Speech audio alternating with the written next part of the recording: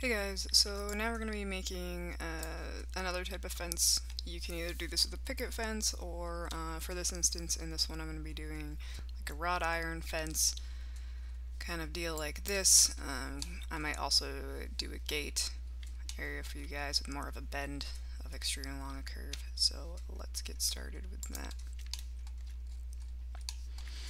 So, uh, I'm going to go ahead and start off with the cube. You can start off with the cylinder. It's completely up to you. And for this, if you're starting with the cube, go over to your inputs, and I'm going to do, just bring them all the way down to one by one by one. We don't need anything now. We're just going to be extruding up and uh, scaling in. Let's go ahead and move your guy up to the base of our grid or somewhere along there. Doesn't really matter. And then I want you to get it into about the width that you want your thing to be. So I'm going to go ahead and scale in on these two axes because I'm going to want this longer. So between the red and the blue, the x and the y axes, to scale in using that one. And then I'm just going to use the green to scale up a little bit maybe to get something like that. So that looks good to me.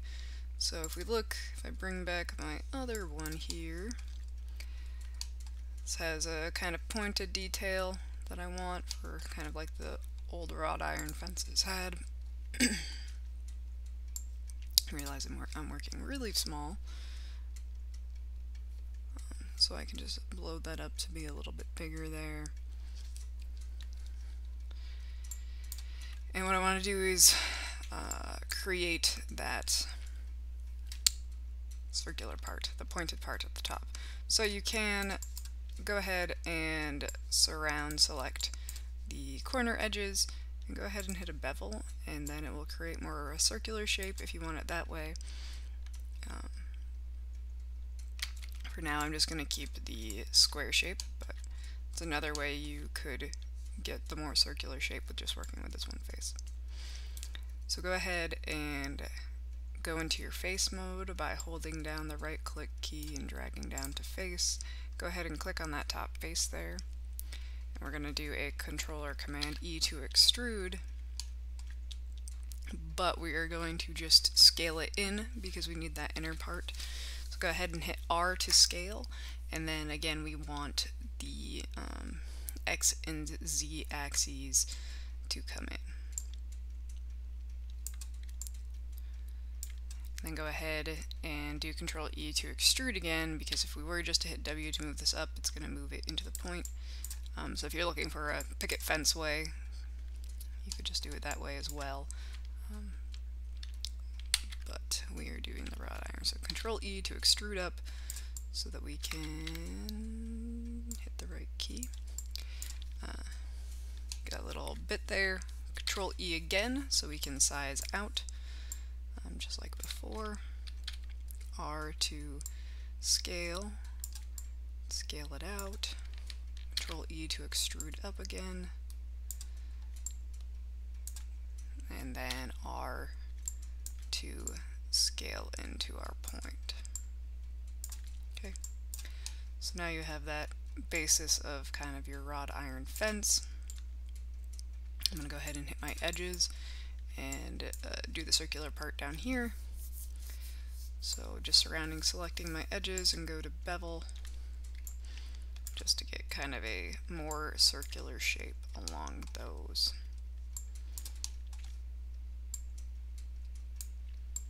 in some segments. Okay. Alright. Um, so in edges, I can also create something so we can have kind of a point out on these guys. Go ahead and hold down your shift and right click after clicking an edge um, and do an insert edge loop tool. Now if I wanted to create the little point out I could go ahead and drop in the insert edge loop tool. Um, looks like mine's already on.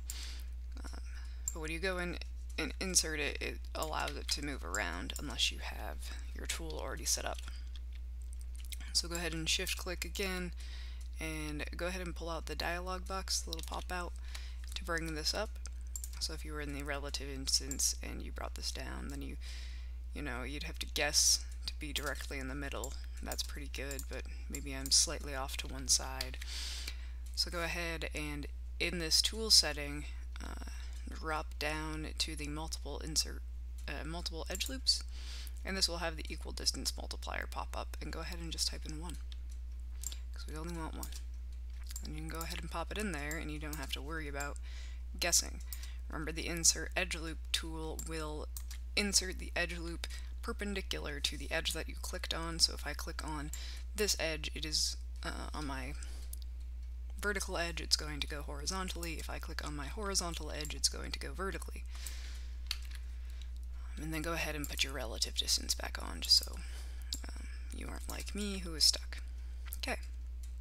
So now we can go into our vertex mode, and Q to quit your tool so you don't keep dropping edge loops. Go ahead and select those new vertices that we made on the bottom. Go ahead and hit R and then we can scale them out to give it more of um, that kind of look. Or you could just do one. It doesn't really matter. It's what kind of fence you want to make. But for me I want this to be kind of uh, flatter on one edge I should say. So I'm going to go into object mode hit R to get into my scale and just scale it in on that side Alright. So I'm going to go ahead and just, uh, for anybody who's making a picket type fence, go ahead and create that one too. Uh, so again, starting off with a cube and starting off with 1 in our inputs. Go ahead and size it up to what you want your 2x4 uh, picket fence to be created out of.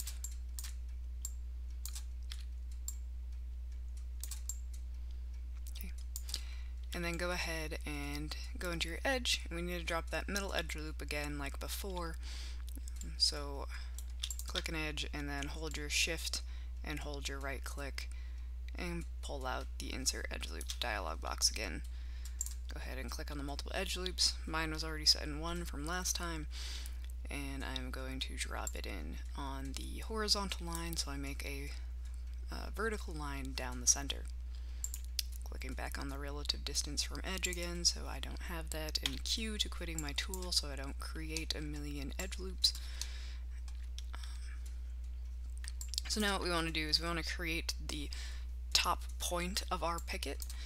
Um, so we're just going to go ahead and grab that middle edge there so you can just click on it because we're still in edge mode and none of our edges are now selected besides that top one. Go ahead and press W to move and just bring it on up. And there you have your picket fence, uh, picket type shape. I'm going to move that over there.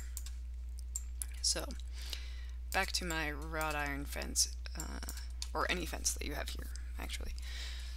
So if you are have your pumpkin scenes that we were creating before, your fall scenes, or whatever you're creating your fence along, uh, make sure that you are getting your fence in relative size to what your scene is originally created in. So if I was doing this and I brought in my um, brought in my lantern that I have here, um, dependent on how high you want it raised, if you were doing a picket, maybe you just want it in the ground but make it relative size to what you have because it will be harder once as we've created all of these to then edit them maybe taller or larger um, because if we go larger it could decrease the value of it in between. So go ahead and just stop the video and get it to the size that you want your fence or if you're just doing the exercise we can continue on. Okay, so now you have your fence in the size that you want. For right now I'm going to work over in this picket fence guy. Um, and we're going to, you know, duplicate them. Uh, I want you to go up into Edit first, Delete by Type in History, and then Modifies and Freeze Transformations. Now what you've noticed over here in the channel box and layer editor is that all of these have resulted back to 0 and 1 as opposed to when we were creating it, it had a bunch of numbers. This is just so we can tell easy, more easily which uh, translate it is moving on when we are moving our fence. So go ahead and hit Controller Command D to duplicate and uh, move it to the distance that you want your fence's posts separated from. Right, so I think this is about good. Maybe you want it further apart, maybe you want it closer together. I think the original picket fence is really close together, um, but in your mind, like the old country fence looks kind of far apart to me. So I'm going to say about there. And what the number you need is now is whatever number has now changed in the translate value. So this, I have moved it 2.833 inches in the negative direction. So you can either remember that number, write it down, or we can just come up into this translate box and do a control C to copy. Uh, just make sure that you are working in something else and copying something else because then you will lose the number. So now with that number selected or in our heads, we can now delete that copy because we don't need it anymore. And we can go ahead and select our picket um, and go up here to edit. And we're going to du duplicate special. What duplicate special is doing, instead of doing control D to duplicate and moving that over the 2.833 inches each time, and having to do that 30 times, this is going to automatically do it for us. So what we need to do is figure out which translate these are. Um, so I'm just going to go ahead and delete the one that's already in there. It will keep the information that you've entered in before. So go ahead and uh, you may need to try these out. Normally this will go X, Y, and Z just as it is here, but sometimes it doesn't do that. Or if you flipped around your um, stage sum, you should be working with y up, but if you flipped around your stage sum, it could be going in an opposite direction. So, uh, I'm going to enter it in here because I believe this is the x, so control V to paste, and go ahead and set the number of pickets that you want, or the number of fence items that you want, and this is going to produce. I always try to do more than I actually think that I need, as then I can always delete some as of coming out and redoing this step again. So I'm going to go ahead and hit apply and you've noticed that it has created a bunch of uh, fence items that now I can edit.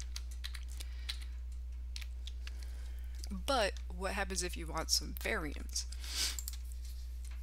I'm going to come back over to my wrought iron fence and say I wanted this to go like up, down, up, down, kind of like my demonstration one that I have here, just to give it a little bit more detail, a little bit more um, maybe real worldness. I think they actually go like up and down. Um, but we're going to do it this way. So I have my one wrought iron fence and I'm going to control D to duplicate and move it over.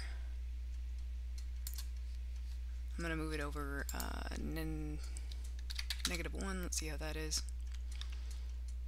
Uh, negative 1.5, there, negative 1.5. And then I'm going to go ahead and shrink this down. Um, so if I go to shrink this down, just now, it will shrink in both directions, and that's something that I don't want. I want to be able to keep these at the same level while just shrinking this down this way. So what I'm going to do is hold my D to move my pivot so I can move this all around, but then if I hold the V key also, you're going to notice that it turns into a circle. You need to not have it be moving at the same time, so let go of everything if it's not turning into the circle, um, and just make sure you're not clicking on anything else. So now with this selected, it's going to snap to a vertice. And the snaps automatically to the bottom because I have no other vertices there. And now if I go ahead and shrink it down, it is only shrinking in that direction. And it is not uh, coming up, so we are still level. Alright. So I've got this all fine and dandy and good. Um, and I'm going to come up and select them both and go edit to delete it by type history, modify, freeze transformations, zeroing it out again. Now I want this one to move 0.2 past, or 0.1.5 fast, right? So I'm going to do that. Um, pressing my W key, should be this one is 1.5, so the next one should be duplicated to uh, negative 3. Oops. Command D to duplicate. Now move it over negative 3.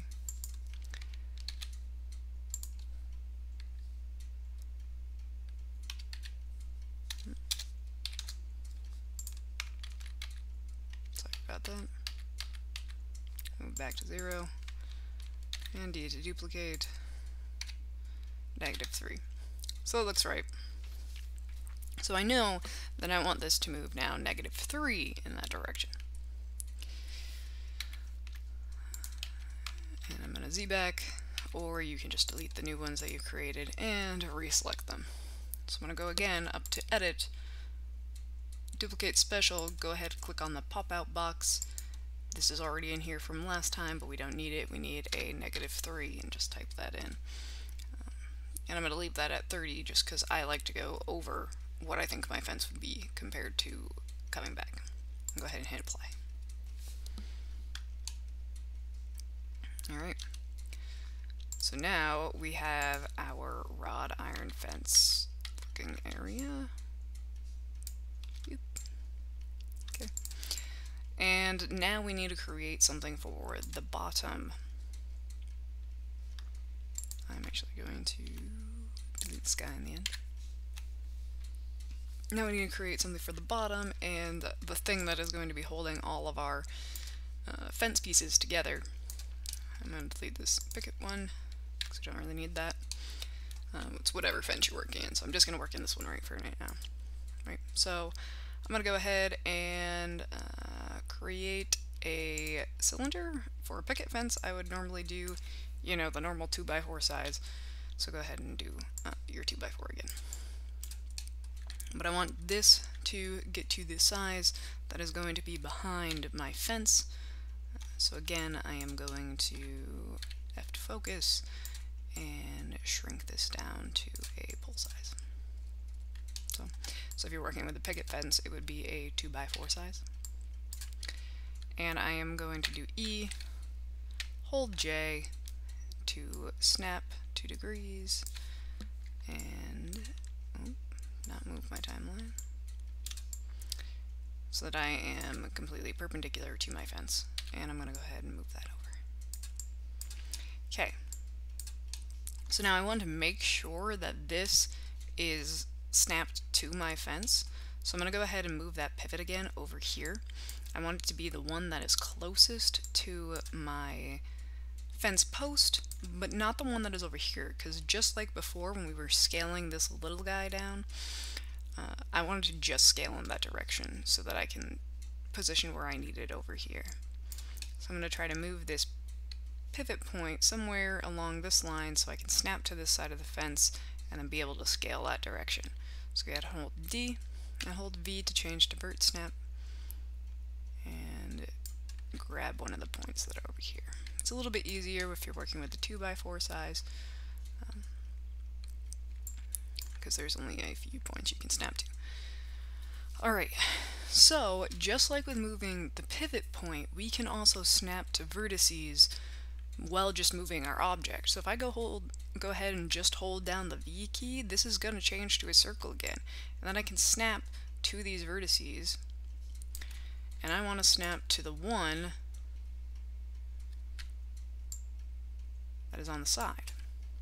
So now I am on the side of my fence so that I have a what looks like a connection. Right there. And then I can just go ahead and move this down to wherever I would want that bar to be at.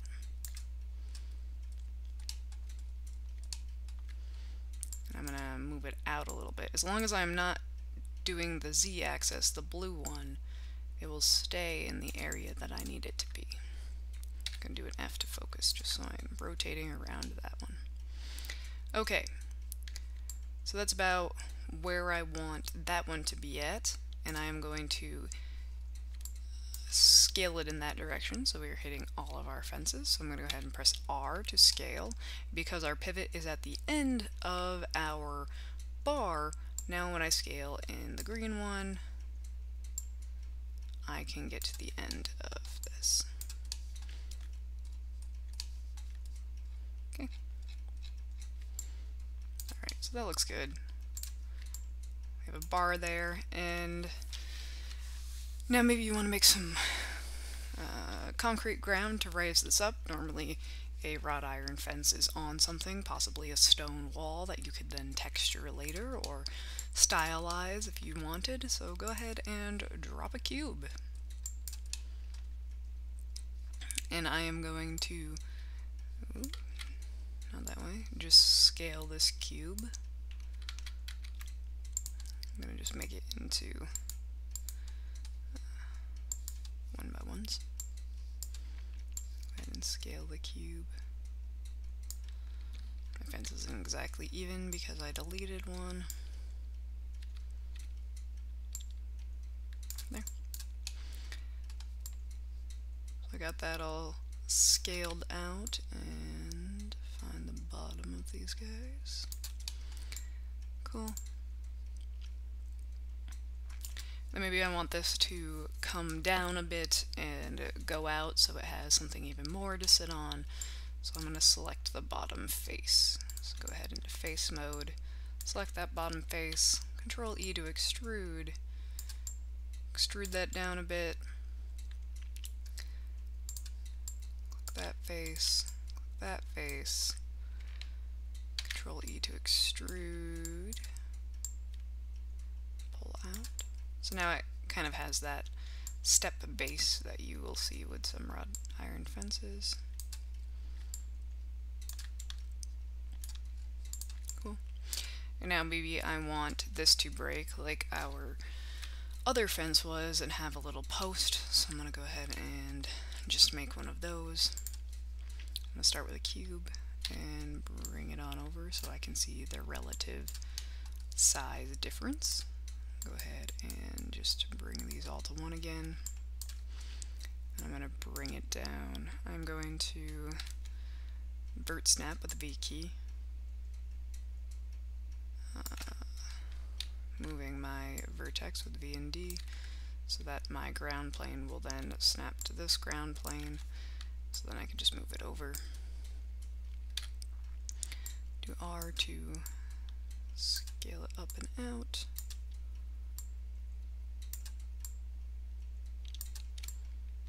Woo. Okay.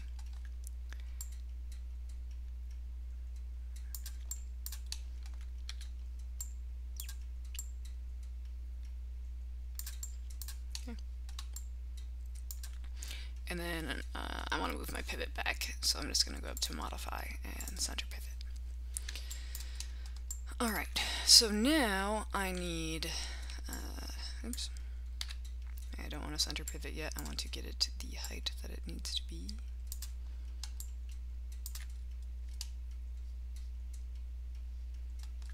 Okay. And now I will go up to modifier and center pivot.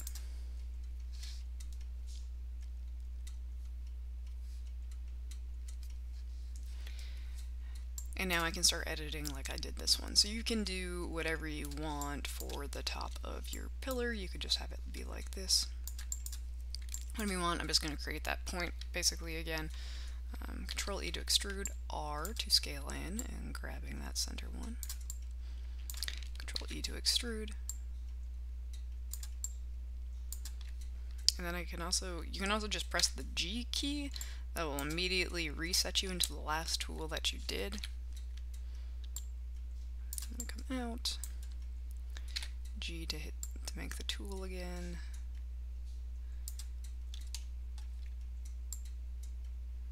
Actually, maybe I want it maybe to create kind of like our lantern. Control E to extrude. Control E to extrude, R to scale.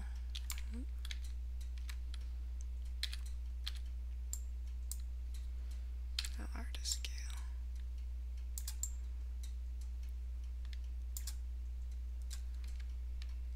Control E to extrude, R to scale.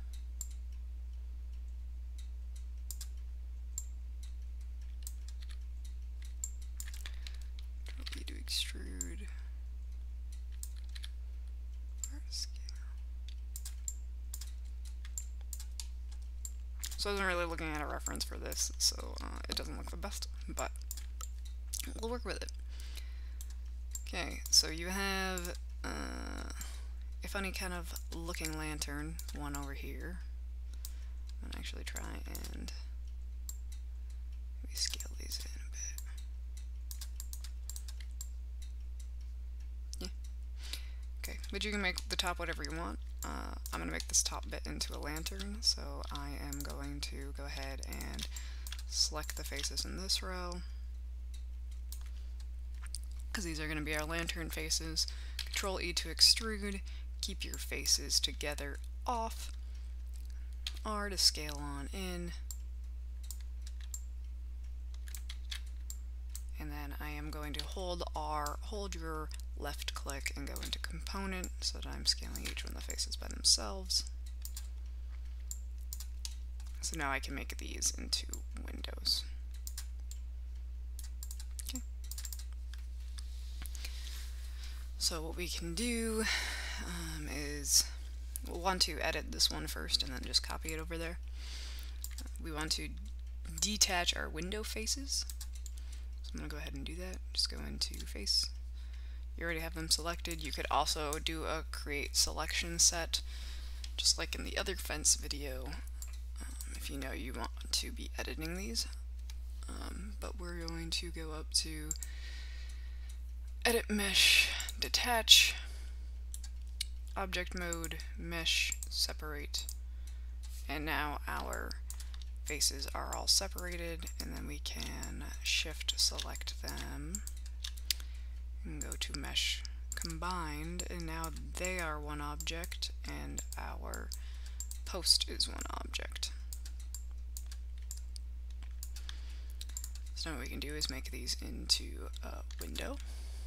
So we can just select our faces and go to assign a new material, come down into the Arnold shader, and we're going to go to the AI surf standard surface. So go ahead and find your standard surface again. Here. And we are going to turn down its weight. I'm going to turn down its specularity. Turn up its transmission we'll make it see-through. If I go ahead and do uh, Arnold, just drop in Sky Dome light and open up my render view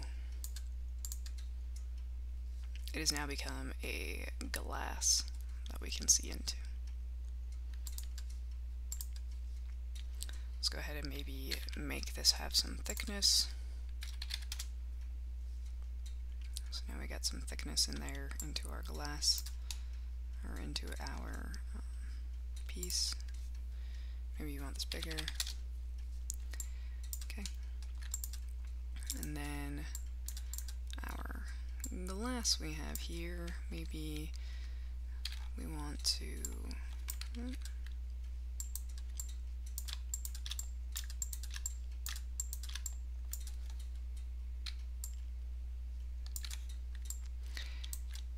select them all and just move them into the center. So now we can drop in a inlet. Maybe we'll give them some thickness.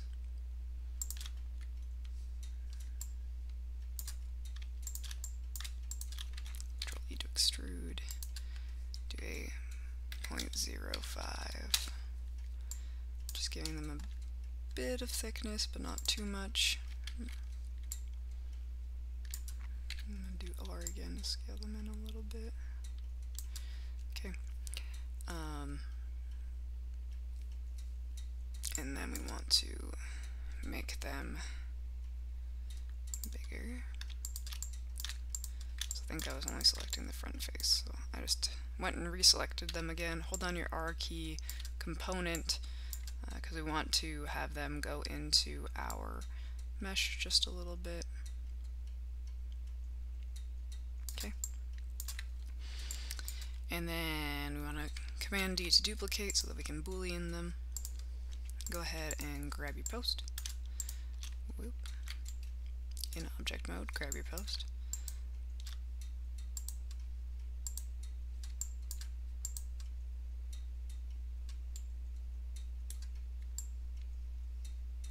I cannot tell if that is selected. Okay, it is. So grab your post, shift, grab your glasses. Since they are all one object, it is going to stay all one object. Um, and go up to mesh, boolean indifference.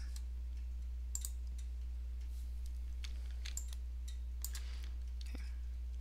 So now it's created this little inlet in our mesh where our glass is sitting.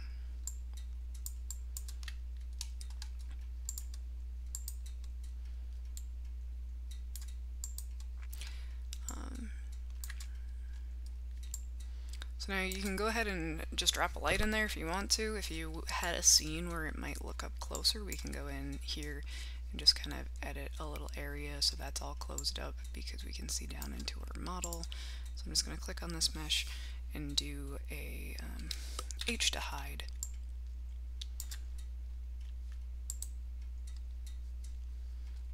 And then I am going to bring this in.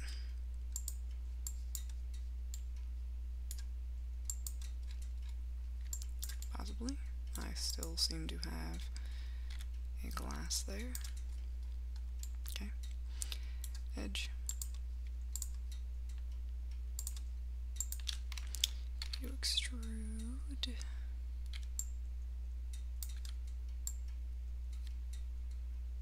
Bring them in.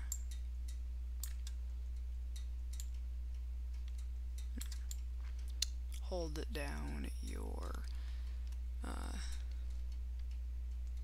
shift and your right click. Go into edge edges, uh, merge center and then I go ahead and select those faces and mesh display and reverse. Woo.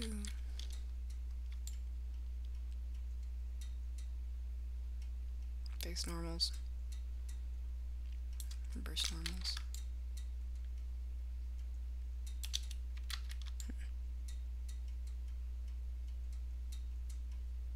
Okay, well, we, I did not want to see that. There we go.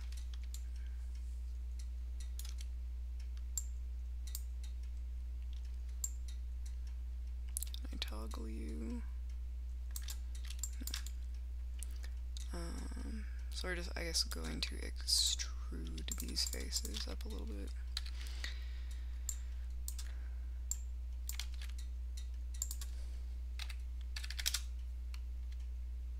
Ooh, broke. Okay, so we're not going to do that.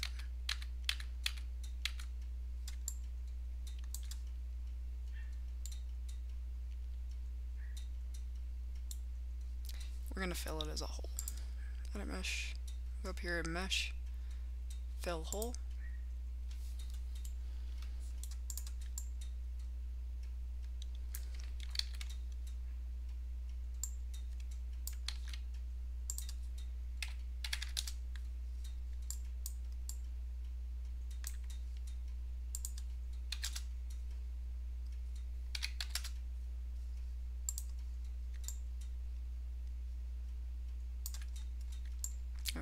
So that's reversed. Uh, Maya right now is not wanting to reverse just these faces.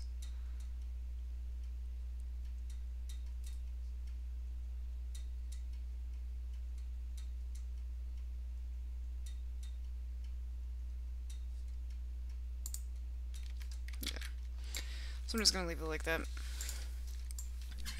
Um, and then maybe you want to put candle or something in there. So let's go ahead and model that candle.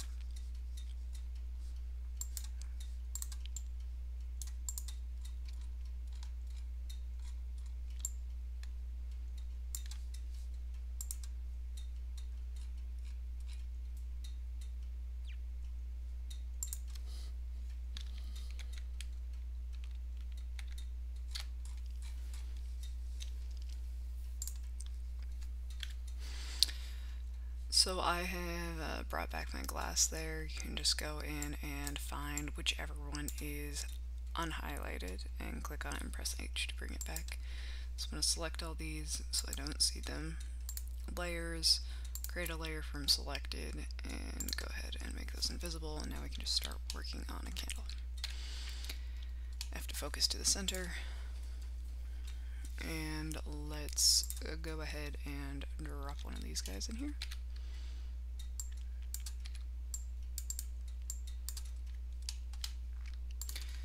Cylinder, go ahead and make some height, make some caps, and we'll go ahead and play with the faces. Let's go ahead and hit B for soft select.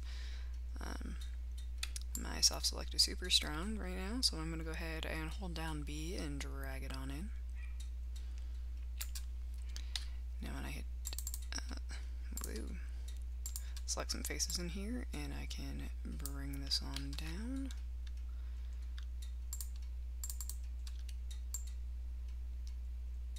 Kind of get something in there like a candle would be.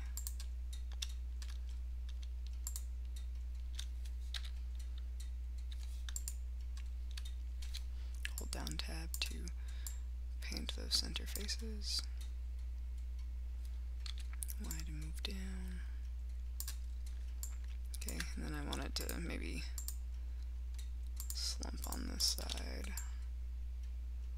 It's melting.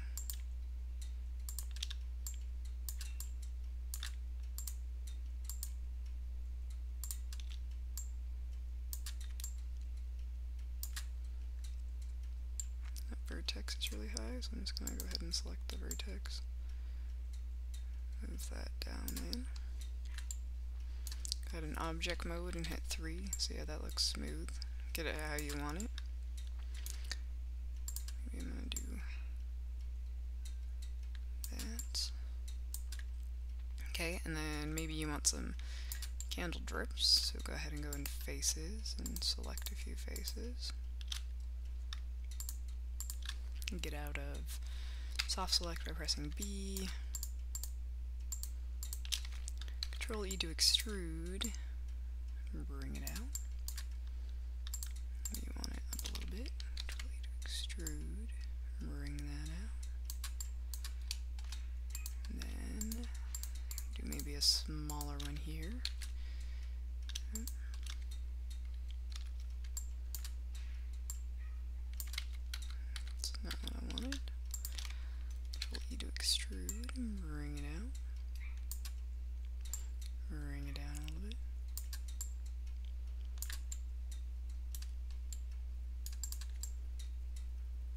Now you can start to get kind of like some candle drips in there. It's going to be inside my thing anyway, so um, it really doesn't need to be perfect for me. Uh, what you can do if you want to make these more sharp, then your insert edge loop tool. Um, create an edge loop on the side of it.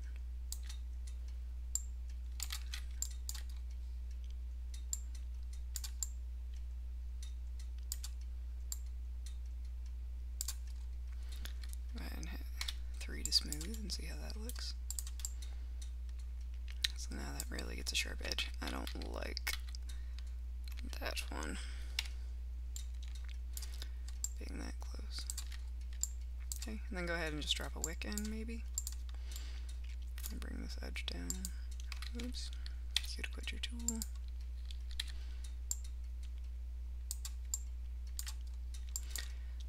drop a wick in, we can do that quickly by just doing um, vertex, grab this vertex, and control E to extrude. Go in one to see what just happened.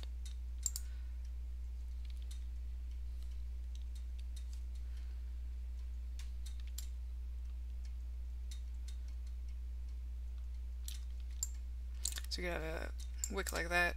Like I said, it's gonna, for me, it's far away.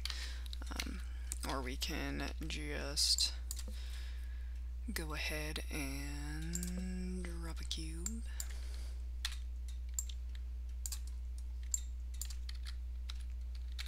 Make this super small. No, it's not all perfect. Maybe give this a bend deformer.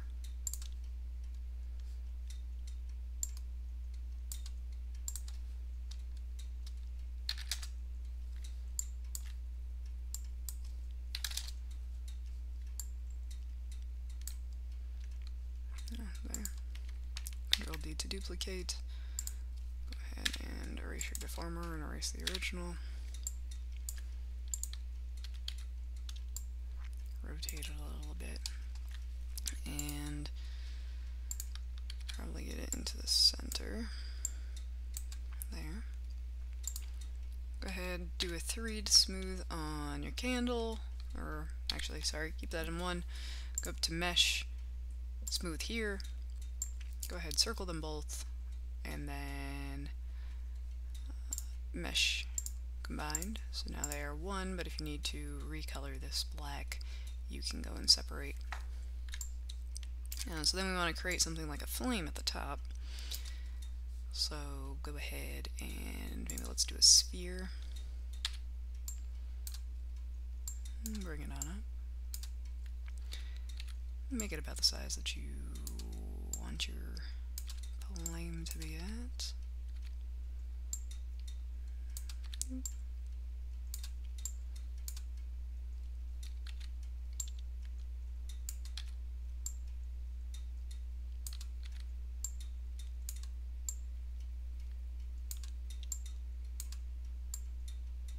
Okay. And then we can do a soft select, so go into B, and select some faces. I'll just pull this up.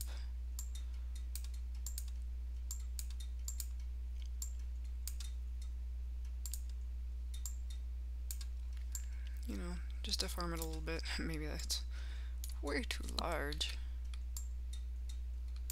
I'll scale down. Know, something like that and then we can combine all that mesh combined so now we can move it. And bring back our fence.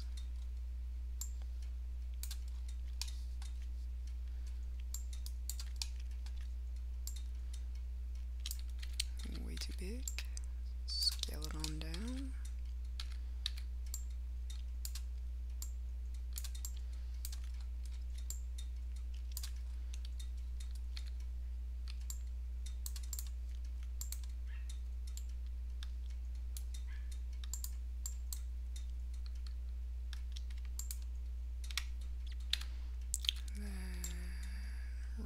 so we can see the candle bits. And there you go. And then we can light it and you can color it all you want. So next we'll light it up. Okay.